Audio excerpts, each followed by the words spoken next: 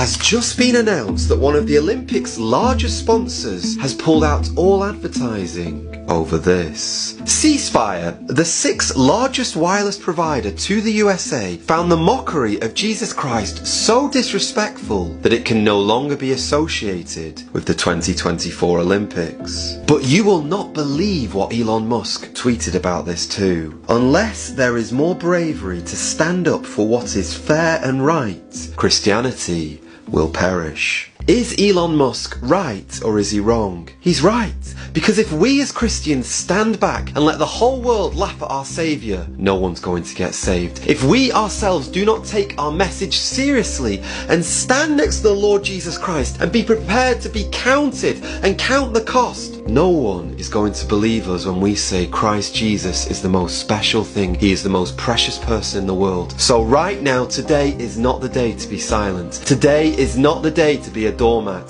Today is the day to speak up and say, this is wrong. We do not agree with this. And we stand with C Spire. We stand with those who say, no, we will not watch the Olympics this year because you are mocking our Saviour and he means far more to me than a bit of sport, than a bit of entertainment. There was never uh, an intention uh, to, to show disrespect to uh, any uh, religious group. Uh, on the contrary, uh, I think that Thomas Jolly really tried to really intend to, to celebrate community tolerance. That was uh, his word yesterday. And uh, looking at the result of the polls that we shared, uh, we believe that this ambition was, uh, was achieved. If people uh, have taken any offense, uh, we are, of course, really, really sorry. Listen to me. God is no man's debtor. And I'm going to ask you to do something right now. I hope this video reaches many, many people. And if you're in the USA right now and you're ready, you're coming up to the end of your subscription and you're ready to switch wireless providers, would you please, please consider switching to C Spire? They're not sponsoring me to make this video, but I want to, something that's hit me really is this.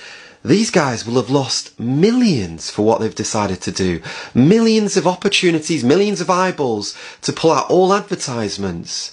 And yet they're doing it because they are saying, no, the Lord Jesus Christ is more precious. So as Christians, let's get behind this company and let's support them. If I was in the USA, I'd support them. So if you are, please do consider this.